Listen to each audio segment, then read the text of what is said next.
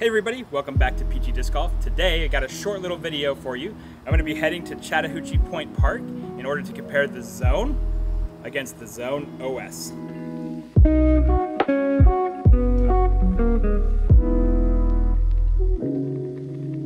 So if you are familiar with the channel, it's no secret that I'm a bit of a noodle arm, don't have uh, that much arm speed, but I do still like to throw overstable approach discs and the zone is one that I've leaned pretty heavily on and I've used quite a bit. I typically throw ESP zones like the six claw zone here, but uh, like many, I was interested when they announced the Zone OS, an even beefier version of the zone. Now the zone is plenty overstable for my arm speed. I don't foresee much need for a Zone OS personally, but I wanted to see like if you have a lower arm speed, is there still room for something overstable like this Zone OS? So we're just gonna play a couple holes at Chattahoochee Point and I'll let you know my thoughts along the way as we're playing through. So we're gonna start off at hole one. Hole one here, 180 feet, par three. You can see the basket on the left side here. I'm actually gonna be going down this right fairway, sending it down as far as straight as I can, letting it fade to the basket. Zone first here, ESP. That looks good. Skip up. That should be parked right next to the basket. That's a nice flight, arcing hyzer the whole way. Now we'll try the Zone OS. Noticeably deeper in the hand, but not uncomfortable by any means for me at least. Oh yeah, look at that. That's not even making it to the center. oh, and it rolled to the right. oh no. Yeah, that has a lot more beef. It feels like it's not as glidey either. It just sort of dumps out of the sky. Not a uncontrollable disc by any means. That's about what I expected, honestly. All right, you can see the Zone OS well short of the basket. Yep, circle's edge. Nope. Zone ended up right here.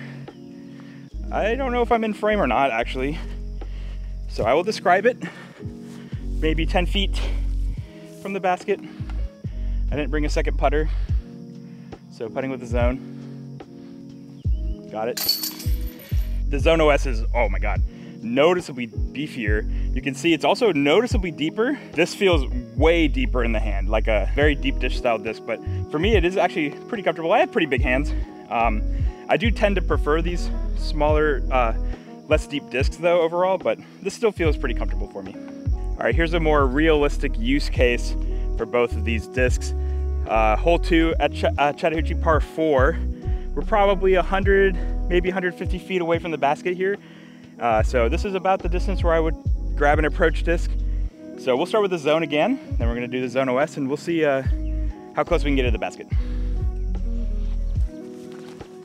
Oh, that's gonna be left, but good distance. That's a circle one putt for sure. With the zone OS, it doesn't fade further left. It's just more overstable. What I find is it dumps more. So this actually is, I can find this being useful because you kind of can throw it high up, let it crash down to the ground.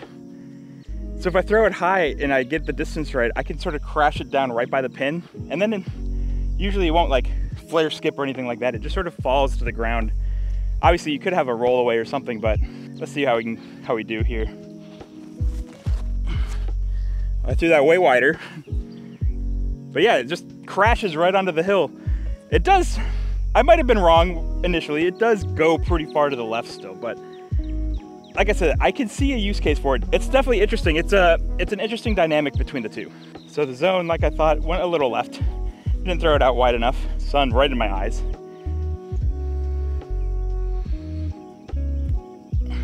No problem. No problem at all. Then uh, the Zone OS right here on the hill. Pretty nice throw. I do think both of these discs do have uses, but um, we got a couple more comparisons still. Hole six here, 235 feet, par three, basket is straight ahead. So this is sort of that max distance where I think I can potentially get the zone on a really hard rip. We'll see if I can even get the Zone OS close. I don't think this is gonna go nearly as far. Oh, I threw that out too wide, but that's distance-wise, that's pretty good. I think that's circle's edge. Uh, still short for sure. Definitely too wide. But let's see how we can compare with the Zone OS. I'm gonna try to throw it on a similar line, just as wide, And we'll see how much further it cuts in and then distance, how much I'm losing with the Zone OS. Oh my God, what a beefcake. That is so short. so yeah, the Zone for sure, distance wise, is gonna be so much better than the Zone OS. The Zone OS is gonna be, if, if it were to make the bag at all, which I don't think it's going to honestly, but it would be very situational. Zone OS, way short. Circle two putt here on a 235 foot hole. That is a, this is a beefy boy. And then the zone, on the other hand, just a hair short.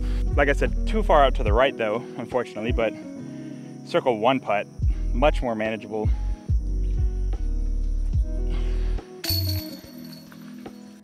All right, so my mic died here on this hole, so little voiceover for hole nine, which is 180 feet. It's a par three very manageable hole, even with the zone and the zone OS, I think. Just have a couple little trees to avoid. Starting off with the zone, I throw pretty high, a little bit on anhyzer 2. It fights out right away, and you can see, didn't really have a chance to get an ace, but distance-wise, that was pretty solid. Now with the Zone OS, I decided to throw a pretty heavy anhyzer just to see how quick it fights out.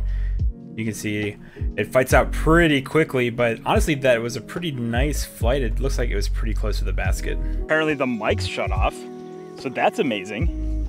Really pumped about that. Gonna have to do some voiceovers or something, I guess. All right, Zone OS ended here. Oh God. Jeez, amazing. I'm just so frustrated. What the heck happened to my mics? Oh, that's really annoying. I thought it was the battery because I know they they were a little low, but battery levels are fine. It just shut down. Maybe it got oh, too hot or something.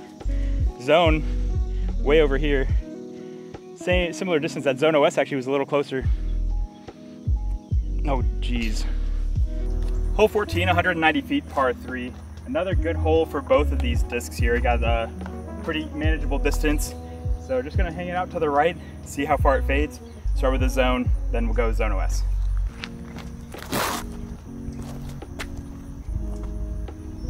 Ooh, that was really close. Zone OS, I'm gonna hang out a little wider.